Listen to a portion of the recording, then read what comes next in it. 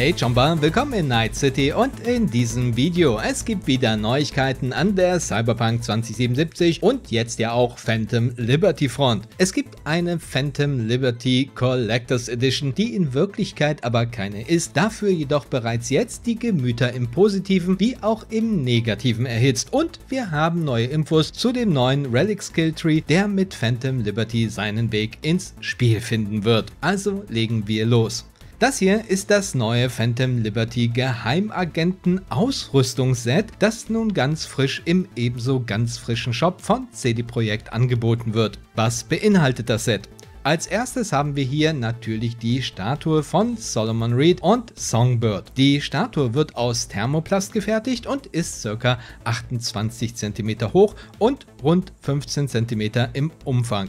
Gewicht liegt bei 900 Gramm. Die Details sind schön ausgearbeitet, ganz besonders bei Songbird, wie wir nun sehen können. Von vorne sieht Songbird total normal aus, aber ihre Rückseite offenbart, dass sie mindestens eine heftige Borg-Umwandlung hinter sich hat oder sogar mehr, worauf ich aber jetzt nicht weiter eingehen will. Zu solchen Details hatte ich bereits ein Video gemacht, das ich dir in der Beschreibung verlinke. Neben der Statue gibt es eine NUSA-Münze mit einer kleinen magnetischen verschließbaren Box, in der die Münze aufgehoben ist. Auf der Vorderseite der Münze sehen wir das NUSA-Siegel mit der Aufschrift The New United States of America. Durchmesser liegt rund bei 5 cm.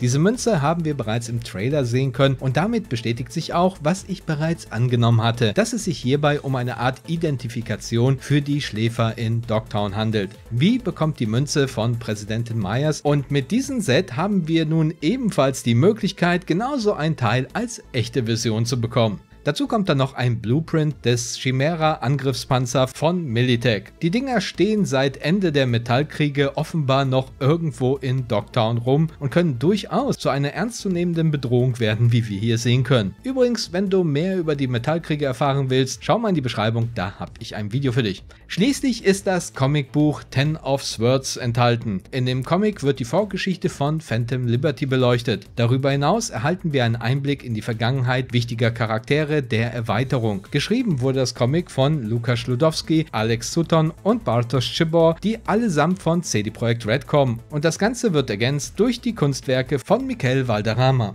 Das Set kostet für uns Germans 164 Euro und 95 Cent. Und hier haben wir bereits den ersten Grund, warum manche Leute enttäuscht sind. Es ist keine Version von Phantom Liberty dabei. Manchen ist das Set damit viel zu teuer. Anderen geht es im Wesentlichen darum, keine physische Version und oder Steelcase dabei zu haben, obwohl es sowas ja beim Hauptspiel gab.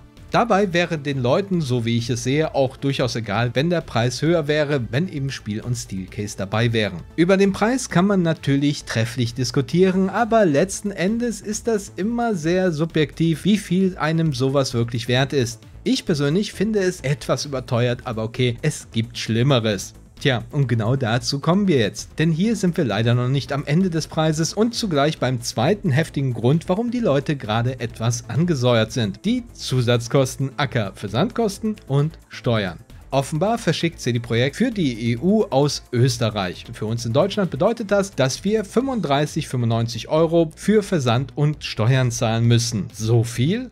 Der Versandpreis wird mit 3,12 Dollar angegeben. Steuern sollen bei 35 Dollar und 44 Cent liegen. Warum werden hier eigentlich die Preise in Dollar und nicht in Euro angegeben und warum passt der Wechselkurs nicht? Aber egal, die Steuern liegen umgerechnet in Euro bei 31,83. Doch was sind das bitte für Steuern? Mehrwertsteuer? Wir haben hier in Deutschland 19% Mehrwertsteuer, das wären dann 26,34 Euro. In Österreich gibt es einen Steuersatz von 20%, dann wären es halt 27,49. Vielleicht gilt auch der polnische Steuersatz, was ich ein bisschen seltsam finde, aber egal, das wären 23%, hier wären wir dann bei 30,84 Euro passt schon eher. Aber egal, was wir da auch nehmen, es passt eben nicht exakt. Vielleicht werden für den Versand Steuern fällig oder vielleicht geht es hier um Währungsschwankungen, wer weiß. Es fehlen einfach die korrekten Angaben, um das klar nachvollziehen zu können. Das Ganze wird dann schlimmer, wenn man aus anderen Ländern bestellt. Teilweise kommen da abenteuerlich anmutende Zusatzkosten zusammen. Das nervt die Leute gewaltig und das auch irgendwie zurecht. Auch zu Recht beschweren sich die Leute über den schlampigen Shop. Mal abgesehen davon, dass Steuern nicht klar angezeigt werden, also mit Prozent und wo die Steuer nun wirklich anfällt, führt der Link zu den allgemeinen Geschäftsbedingungen genau hierhin, also ins Nichts.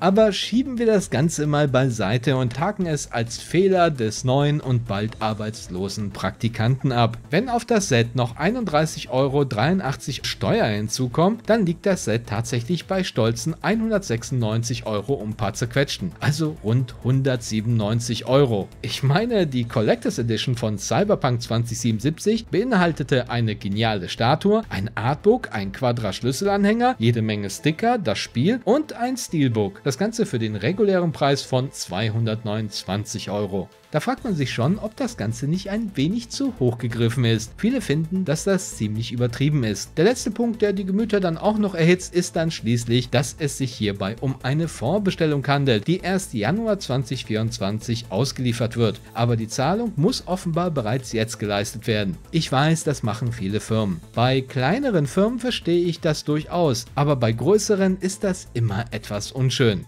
Richtig schwierig wird es in diesem Zusammenhang dann auch, wenn man für mehr Kohle einen beschleunigten Versand anbietet. Der ohnehin falsch angegebene Versand am 26. Juli, also diesen Monat, kann man um satte zwei Tage beschleunigen, wenn man rund 50 Pfund, also englische Pfund mehr zahlt, was aber in jedem Fall, also egal welchen Versand man wählt, dann dazu führt, dass man eben erst die Auslieferung im Januar 2024 hat. Da bleibt zu hoffen, dass auch jeder genau verstanden hat, dass sich das Vorbestellen nicht nur auf wenige Tage, sondern eben auf einige Monate bezieht.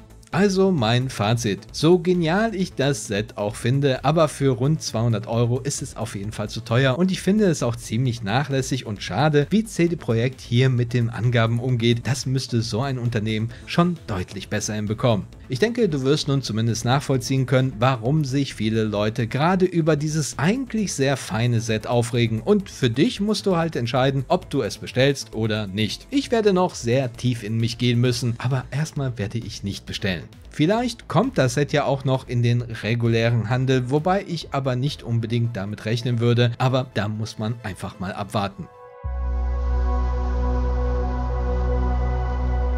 Kommen wir zum Relic Skillbaum. CD Projekt war auf der Japan Expo 2023 in Paris. Das lief irgendwie ein wenig unter dem Radar, aber einige Seiten, wie Gaming Way zum Beispiel, hatten darüber berichtet. Auf der Expo wurde Phantom Liberty vorgestellt und dabei wurden auch verschiedene Screenshots gezeigt, darunter auch dieser von dem Relic Skill Tree. Wir sehen hier diverse Skills. Es sieht so aus, als hätten wir insgesamt sechs Skillboxen, die durch Relic Skill Punkte freigekauft werden können. Es sieht nicht danach aus, als würde man noch runter scrollen können, aber wer weiß. Auf der linken Seite sehen wir dann auch eine Erklärung für einen Skill. Die Sprache ist natürlich Französisch wegen Paris und so, aber Google sei Dank können wir das Ganze übersetzen. Der Skill nennt sich Schwachstelle Analyse und kostet 3 Relic-Punkte. Darunter steht folgende Erklärung. Während des Kampfes können Sie Schwachstellen erkennen und anzeigen lassen, was folgende Vorteile bietet. 100% Chance, einen kritischen Treffer zu verursachen, plus 25% panzerbrechender Bonus auf den Schaden gegen Schwachstellen. Wenn Sie einer Schwachstelle genügend Schaden zufügen, explodiert sie und erzeugt eine EMP-Explosion,